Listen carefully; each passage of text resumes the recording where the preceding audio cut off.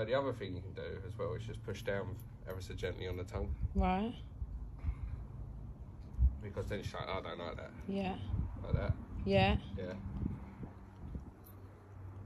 And then affection. That's what we want.